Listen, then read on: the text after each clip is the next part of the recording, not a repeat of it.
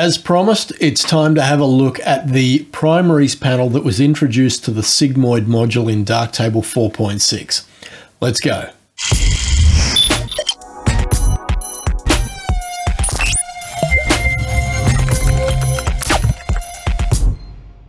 Hi, and welcome to episode 137 of Understanding Darktable. I reached out to Flannelhead via the pixls.us forum and we traded a couple of messages backward and forward because I wanted to try and make sure I understood what he was going for with this particular panel within the sigmoid module. And essentially what it comes down to is this. If you've got images with really intense swatches of color. Now, obviously the key, you know, offender here is anything with LED lighting, particularly blue LED lighting. But it could also be images with someone in a fluoro safety vest. You know, things like that where you've got really bright, really intense colors. That's where the primaries panel in Sigmoid is going to come to your advantage. So I've found three images from my library where there is, well, two of them have LED lighting, one of them is a sunset, so let's dive on in and see what we get when we introduce the primaries panel in Sigmoid. So what I've got here is a nighttime long exposure of the city skyline of Perth in Western Australia. And as we can see, there is this blue light on the top of this building over here on the right that is reflecting off the water. And if we zoom in, we can see that there is just this massive swathe of pixels which are just at the maximum brightness and the most saturated blue, and there's just no gradation, there's no detail whatsoever in that section of the image. And I'll have to confess, you know, when Darktable 4.6 was released at Christmas time, and we got the RGB primaries module and the new version of Sigmoid with the primaries panel, up until that point, I'd never really noticed how this sort of artifact displayed not only in my photos but in so many other people's photos on the web. And it's a revelation to me. So I've deliberately turned off uh, filmic RGB you can see that in the history stack there where I've turned that off because I wanted you to see what the image looks like before we apply any tone mapping. Because remember our two main tone mapping modules in Darktable are Filmic RGB and Sigmoid. So we go over to the tone group, we expand the Sigmoid module, and I've expanded the primaries panel here. And before we go trying to correct this image, let's just have a look at the controls that are here in the primaries panel. First up, the base primaries. This drop down has a handful of different profiles that you can choose from. And the only time you would bother using any of these last four, like if the only reason you would move off work profile, is if you were creating a preset. And the reason you might do that is because work profile simply means whatever I am using as the working profile in the input color profile module, which appears here in our pixel pipe. So we can see working profile is linear rec 2020 RGB.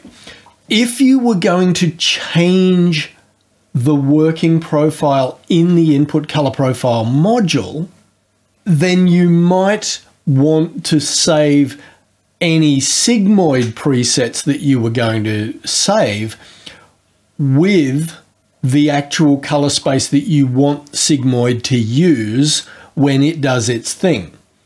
Because if you leave it on work profile, then it will use whatever working profile you choose in the input color profile module.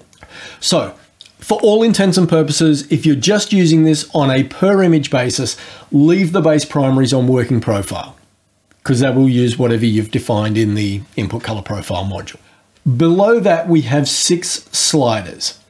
Red attenuation, red rotation, green attenuation, green rotation, blue attenuation, blue rotation. And then a seventh slider, recover purity. Now, The word attenuation means to turn something down. And this is where I have my first and possibly only gripe with the user interface for this primaries panel. Flannelhead, if you're watching, was there a reason that you didn't set the default value or, or, position for this little white control slider? I didn't want that to turn on. On the left hand side, because it seems to me it should really start on the right hand side. So if I'm attenuating or turning the red value down, I should be dragging that slider to the left. It's completely unintuitive, at least to me, that if I want to turn the intensity of any of those three channels down, that I should be dragging the slider from left to right. That just makes no sense to me whatsoever. Now, maybe there is a scientific or a mathematical reason for why you did it that way, and if there is, please enlighten us. That is probably my only gripe. That just seems completely counterintuitive to my brain. If anyone else has any input on that, I'm, I'm keen to hear it. But the idea here is that the attenuation slider allows us to turn down the purity of that particular channel. So as we increase the attenuation, we are reducing the purity of whichever channel it is we're working on. So in this case, we're going to work on the blue channel. So as we drag that to the right, you can see that suddenly there's detail back in that area where before it was just this massive wash of solid blue pixels with no detail whatsoever. Now, obviously what happens as you do that is the color tends to wash out towards white. And obviously we want the vivid colors, right? But we don't want them to just be this solid mash of blue, like someone grabbed a blue paintbrush and went right across the image. We want there to be some detail. And that's where the recover purity slider comes in.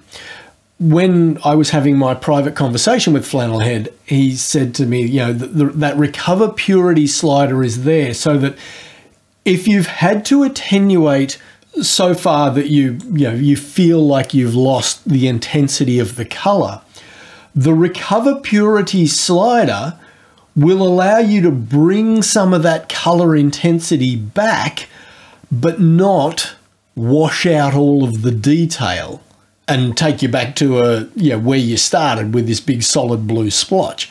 And it's a bit of a juggling act. You know, you've got to work out what is it you are prepared to tolerate in terms of getting close to that point where the colors just blow out into a, a wash of just all blue pixels and how much color intensity you want. Now, what we haven't addressed yet is the rotation sliders. At the moment, I'm on my normal histogram view. I'm just going to jump over to the vector scope view. And what we will see with the blue rotation is here's all of our blue channel information here. If we drag the rotation slider to the left, we will shift our blues towards cyan. And if we drag the slider to the right, we will move our blues towards magenta. So let's give that a try. And you can see it both in the image and on the vector scope that the color information for the blue channel is being swung either towards cyan or towards magenta. And the same sort of thing would apply for the green channel and the red channel, where with the red channel you would be swinging between, you know, oranges and yellows on one side and magentas and purples on the other side. With the green channel, you're basically swinging between yellow and cyan. All right, let's look at another image, shall we? What we can see here is a sunset that is completely blown out. It looks horrendous. You can see from my history stack, I've been mucking around with a lot of different variations here. If we start with the smooth preset, straight away, that, that sunset just looks so much better. All of those really clipped gradations have disappeared and we've now actually got nice smooth tones there. Maybe not as intense as what we had, but it still looks a lot better. Let's check our gamut. We can see that there are some gamut issues right there around the sun, as you would expect, a little bit here in the shadows, that's to be expected as well. So let's try reducing the reds a bit further. And then if we increase our purity, we can see that that increases the reds both here and in the sand face. When I say here, I meant the uh, the sunset. So the reds have increased here with the sunset. They've also increased over here on the sand bank uh, with that recover purity slider. If I bring it right down, we lose some of the reds. Bring it up, they come back. But again, if we turn on our gamut warning, we can see that that has pushed more pixels out of gamut. All right, let's turn that gamut warning off and let's move our red rotation. So if we drag our red slider to the left, you would expect that to be towards yellow, but it's actually the other way around. It's left is towards magenta and right is towards yellow.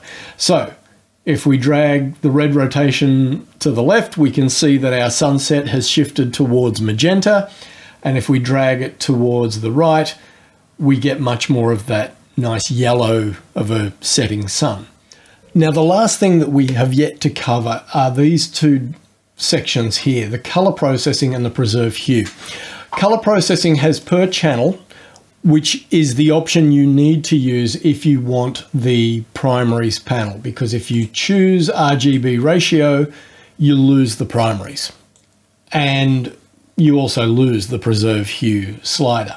Now, in his original post on pixls.us, Flannelhead talks about how, particularly with sunsets and skin tones, quite often they shift towards a bit of a salmon pink color and he says that when you increase preserve hue, you will see that. And if I do that, we can see exactly that. This allows you to bring that back if you want to. But I've got to say, for me, I'd much prefer that I had a nice golden sunset rather than a pink sunset. But it's subjective. They're your photos, it's your art. You choose what works for you. Okay, people, I am going to leave it there. I'm sure there is more nuance and detail to this than even I understand at this point in time. But I will say this I've been going back and processing a lot of my images which have, you know, sunsets or LED lights. And between the RGB primaries module and the primaries panel in Sigmoid, I am getting much nicer results than what I've had in the past. So definitely would recommend that you spend some time with both of those modules and uh, get familiar with what it can do for your images, particularly with those strong LED lights. You will have noticed, I meant to mention this at the end of episode 136 and I completely forgot, that I now have a 4K monitor. I decided to splash out at Christmas time and buy myself a Christmas present. I was in this conundrum where you know I've got two monitors here, right? And I used to have the Dell monitor sitting here as my main monitor, and I had a BenQ monitor in the second position. And what was happening was the BenQ monitor, I think it was dying because it kept on changing its brightness level. I'd set it to a certain value, I'd shut my computer down, next time I'd come back and turn it on, there'd be all this, it'd be a completely different setting. And so I thought, okay, I wouldn't mind getting a 4K monitor. I'd like to get something that's you know good for color grading. I don't want to spend three, four thousand dollars on an EIZO monitor. There must be something in the middle. And what I found was the Asus ProArt PA279CRV. This is just gorgeous. I love this monitor and I cannot tell you how many images I have gone back and reprocessed because I now feel like the difference I used to see between the Dell monitor, which I thought was a great monitor, and the BenQ monitor, which I was not all that impressed with. It's like the same difference again.